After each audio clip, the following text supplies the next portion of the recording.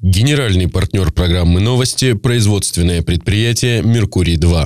Доступные квартиры в комплексе «Кавказ» от надежного застройщика «Меркурий-2» в курортном районе Анапы. Детские и спортивные площадки, автопарковка, квартиры с видом на море, рассрочка оплаты. Срок сдачи первой очереди – четвертый квартал 2016 года. Звоните 48 300. Партнер программы «Новости» – медицинский центр «Анапа-Океан».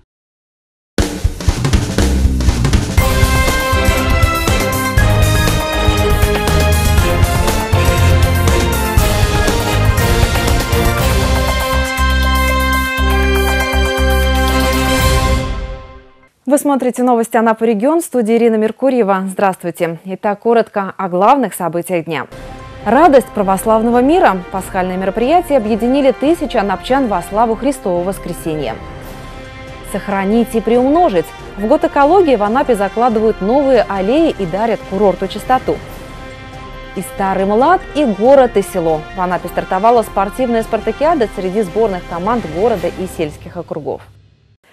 В минувшие выходные весь православный мир отметил главный христианский праздник – Светлое Христово воскресенье. Тысячи жителей города приняли участие в пасхальных мероприятиях. В ночь субботы на воскресенье во всех храмах курорта прошли все ночные богослужения. В Свято-Ануфриевском храме вместе с многочисленными прихожанами Светлый праздник Христового воскресения разделил и глава города-курорта Сергей Сергеев. Светлое торжество объединило православную общественность, представителей казачества и молодежи, а также всех анапчан и гостей города-курорта, пожелавших поучаствовать в службе.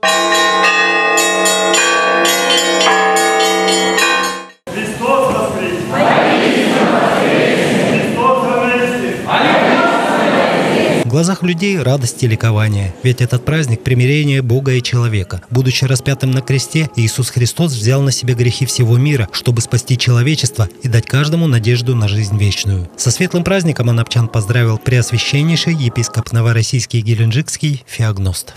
Воскресение Христова, призывая нас к вере в собственное бессмертие, дает силу и разумение отделять главное от второстепенного – побуждает при исполнении заповедей Господних и наполняет нашу жизнь смыслом.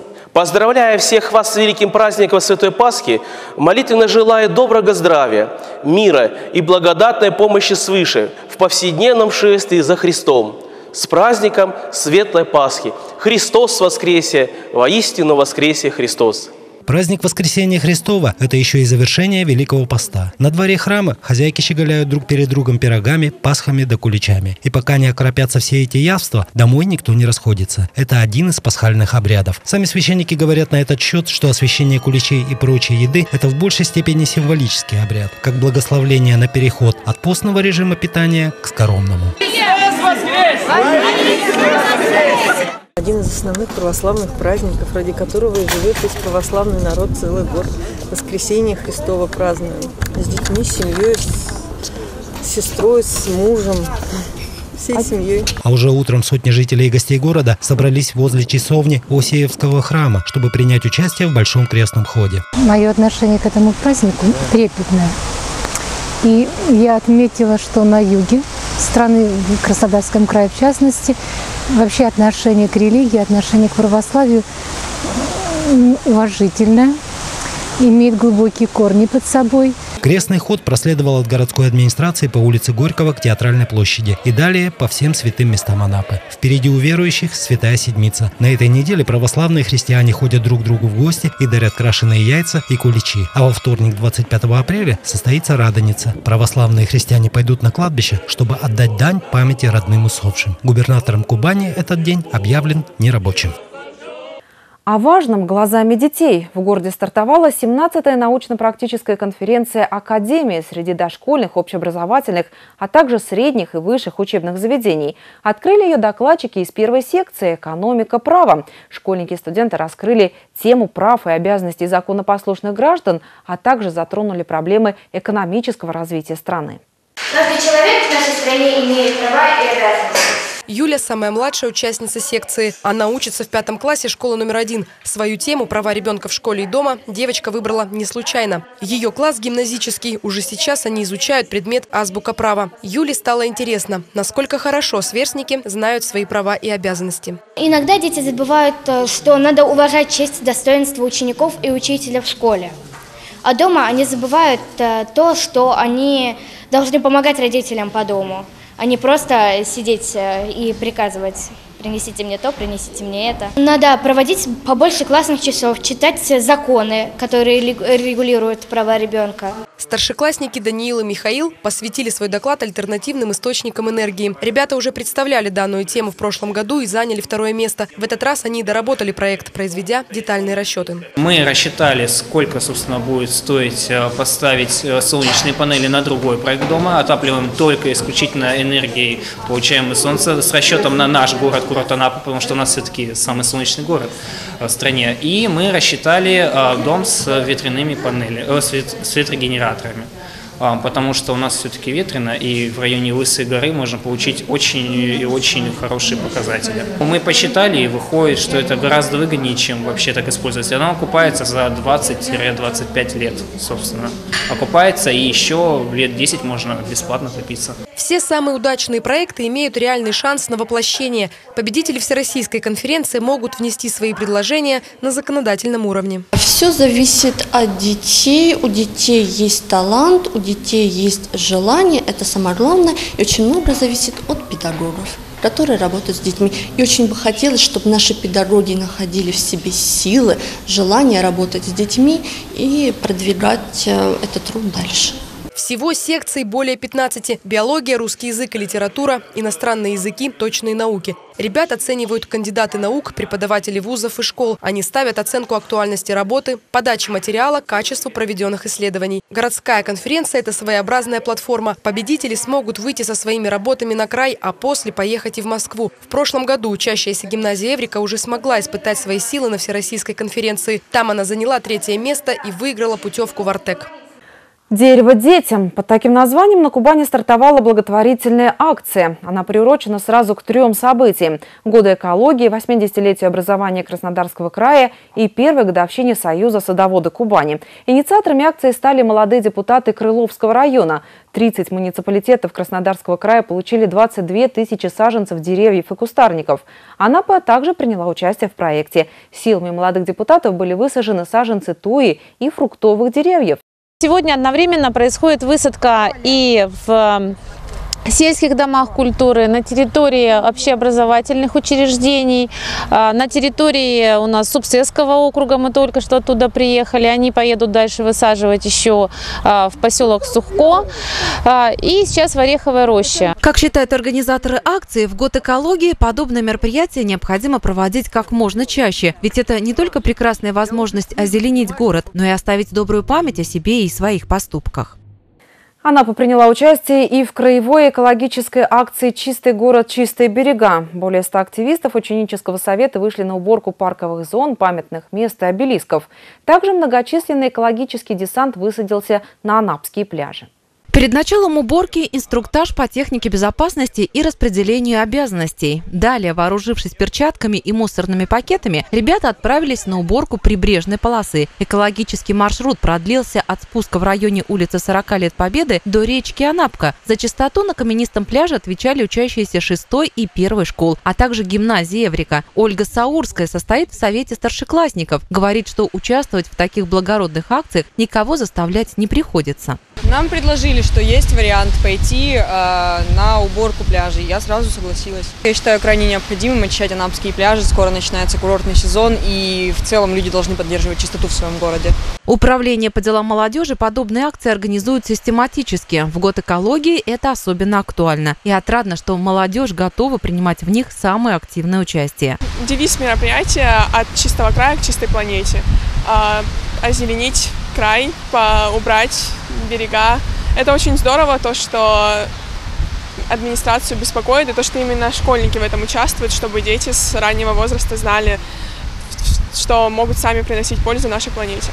Полмиллиона рублей получит команда победительница муниципальной спартакиады. Об этом рассказали на церемонии открытия, которая прошла на Свято-Осиевской площади в эти выходные. В соревнованиях принимают участие городские и сельские команды, жители станиц, поселков, хуторов и городских микрорайонов.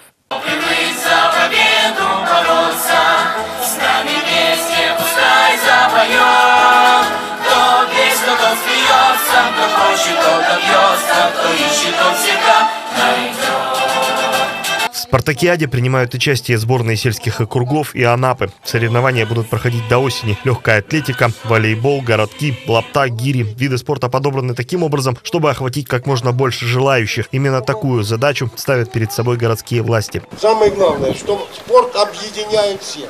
Объединяет здоровых людей. Объединяет во всем абсолютно.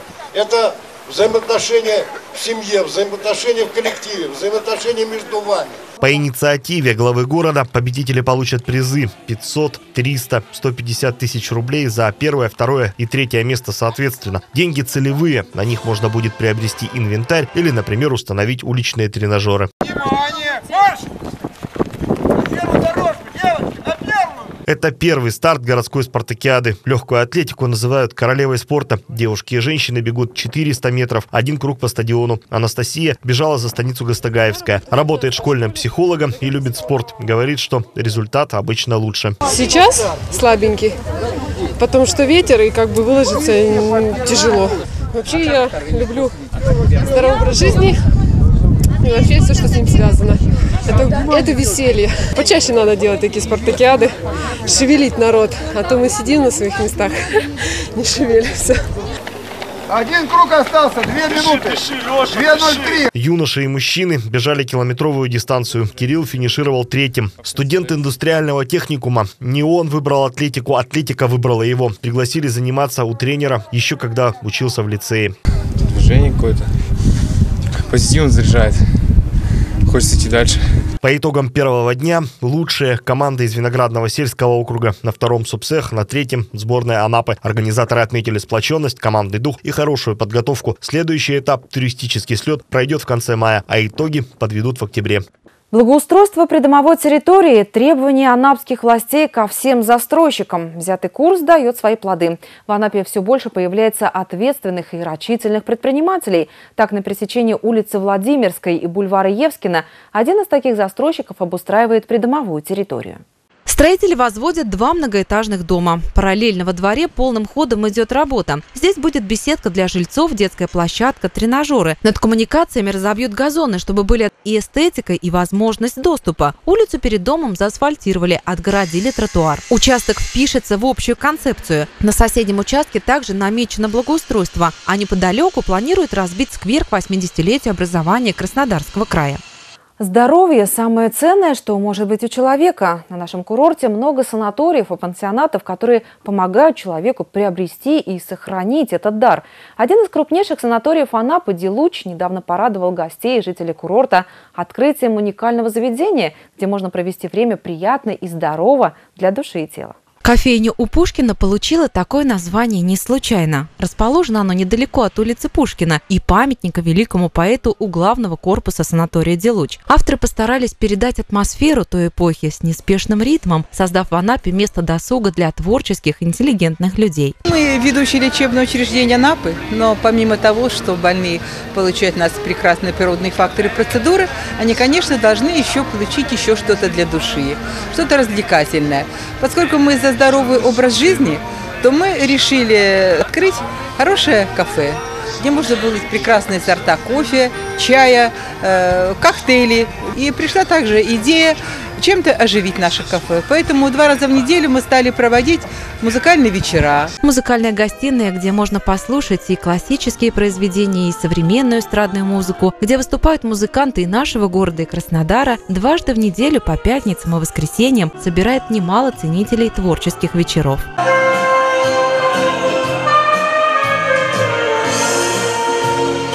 Здесь можно полакомиться блюдами, которые так любил Пушкин – яблочные маковые пирожки, а фирменный десерт, который так и называется у Пушкина, уже обрел немало поклонников среди посетителей кофейни. А также здесь можно отведать малиновый десерт, черничный, вишневый. Причем, что немаловажно для поклонников здорового образа жизни, все блюда готовятся из натуральных ингредиентов. И, конечно же, обширная кофейная карта и большой выбор сортов чая. Мы рады предложить нашим гостям кофейни у Пушкина наше эксклюзивное меню куда входят натуральные чаи, а, горные травы, зеленые чаи, молочный улун, жасминовый, чай черный ассам, также фирменные десерты, которые делает наш шеф-повар. Также в кофейне у Пушкина можно приобрести и выпечку к праздничному столу. Накануне Пасхи пекарня этого заведения порадовала посетителей вкуснейшими куличами. Как депутат первого округа я хочу поздравить всех со светом, э, воскресением Христовым, пожелать всем счастья, любви, здоровья и веры.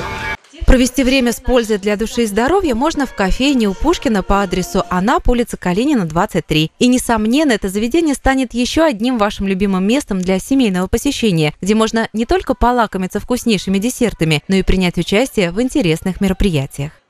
Сразу шесть призовых мест заняли полицейские и курсанты вузов МВД Краснодарского края. На минувшей неделе в Анапе прошли лично командные чемпионаты России по рукопашному бою. Участие в них приняли правоохранители из 43 регионов страны. Итоги подвели накануне. Кубанские полицейские заняли два третьих и два вторых места в различных весовых категориях. Помимо этого, наша сборная стала лучшей в командном зачете и заняла первое место среди территориальных органов МВД. Призеры награждены кубками, медалями и грамотами. Также по результатам соревнований победители будут включены в сборную России по рукопашному бою.